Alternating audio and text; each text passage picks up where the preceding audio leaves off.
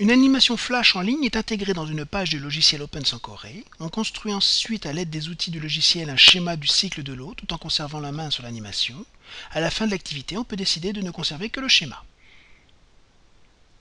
On lance le logiciel OpenSankoré.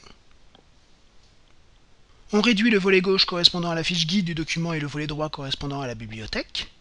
La page affichée, la page titre du document. On prend l'outil Écrire un texte, puis on clique dans la page on tape le titre de l'activité. L'ensemble du titre est sélectionné. Pour modifier les attributs du texte, on clique sur le F de la zone de texte et on modifie les paramètres. On centre le titre dans la page.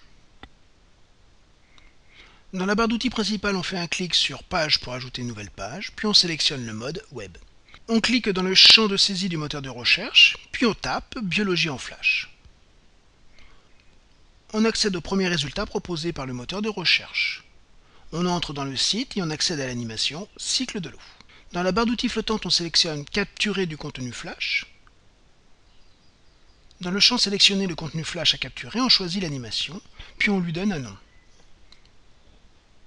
L'animation peut être ajoutée dans la page ou dans la bibliothèque sous la forme d'une application ou d'un simple lien.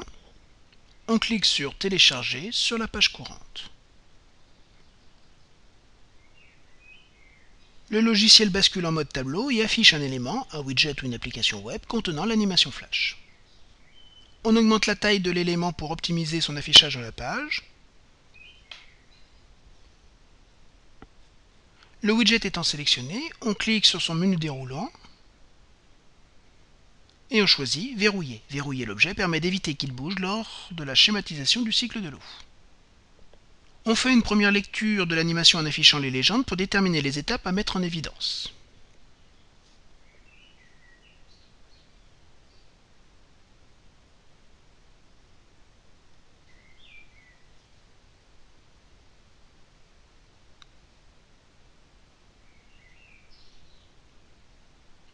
En fin de lecture, on désactive les légendes.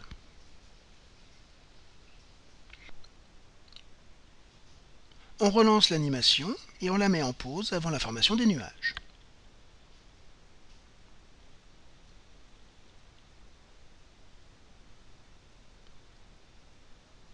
On prend ensuite l'outil à noter le document, on trace la flèche correspondant à l'évaporation,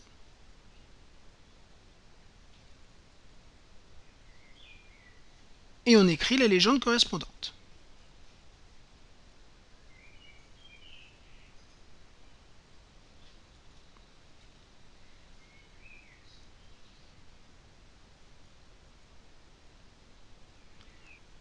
Avec l'outil Sélectionner et modifier des objets, on relance la lecture de l'animation.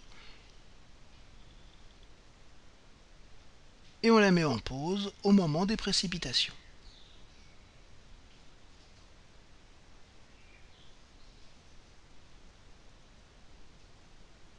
On reprend l'outil à noter le document, puis on continue la schématisation du cycle de l'eau.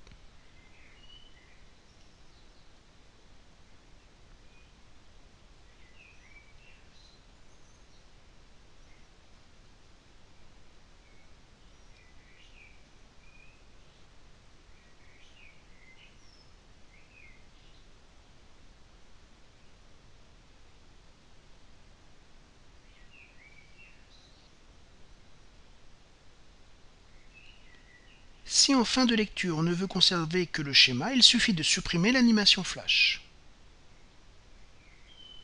On sélectionne le widget et on clique sur la commande supprimer de l'élément. Le fichier est automatiquement enregistré au fur et à mesure des modifications apportées. On pourra y accéder à tout moment par le mode document.